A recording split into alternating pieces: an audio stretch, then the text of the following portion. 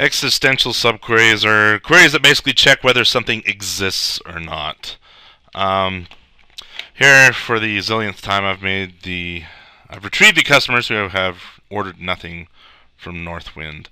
Um, basically, this one's real simple. We get the list of people who have ordered something, and we find the customers who are not in that list. We could also use exists. Uh, so let me get rid of this. Where exists, or let's say not exists, select uh, customer ID from orders. Well, we could even say splat here. That's the nice thing about exists is it just says if a record is returned, then it returns true or false. It doesn't matter what is contained in that record. With in, we had to have a single column in here. With exists, we can. It doesn't really matter what we put here. It's it's arbitrary. Okay, where not exists, select splat splat from orders. Uh, where let me just put an O out here. Where O dot customer ID uh, is equal to Let's do C. C dot customer ID. Run that, and we get the same result. Okay. The main difference between exists versus not in is exists still is correlated. Notice we have a correlation condition here. We have to run this subquery um, for each customer C. So in this case, it probably doesn't make sense to do what I'm doing, but we have to run the subquery for each customer C, and then um, basically exists at short circuits.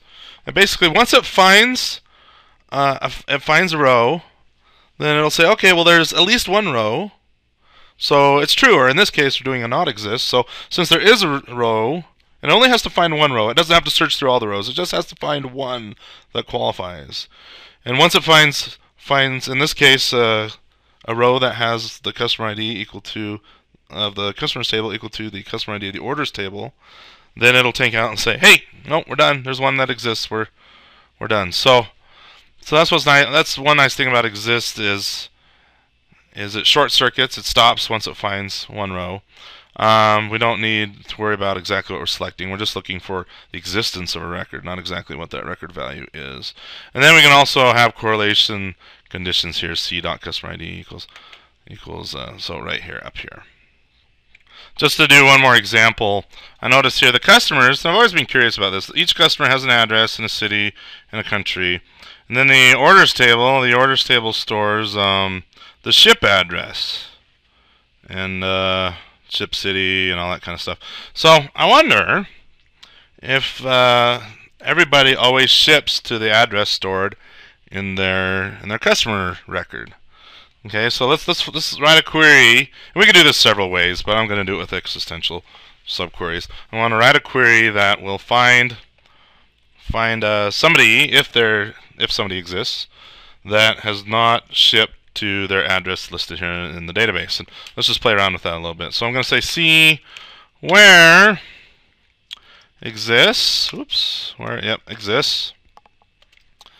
Uh, select splat from orders, and we can just get rid of this down here. Select splat from orders, even though I just typed it again.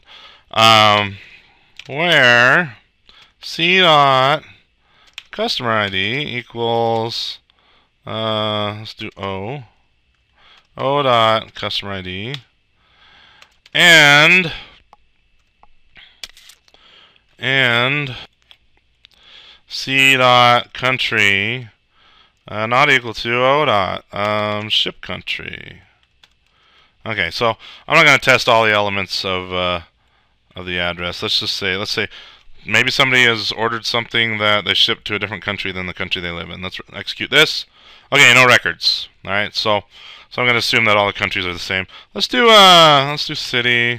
And again, I'm just playing around here. If I was doing this in development, I'd have to test every element of the of the customer's address. But c dot city not equal to ship city. Run that. Oh, there we go. So it looks like Thomas Hardy has shipped to a different city than what he lives in. Now I could certainly join customers to orders and, and get the same result, but just for fun I wanted to do it with an existential subquery.